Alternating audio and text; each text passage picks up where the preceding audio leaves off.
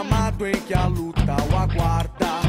Sabe bem o que vem pela frente, que a dureza do prédio não tarda. E o Palmeiras no ardor da partida, transformando a lealdade em padrão.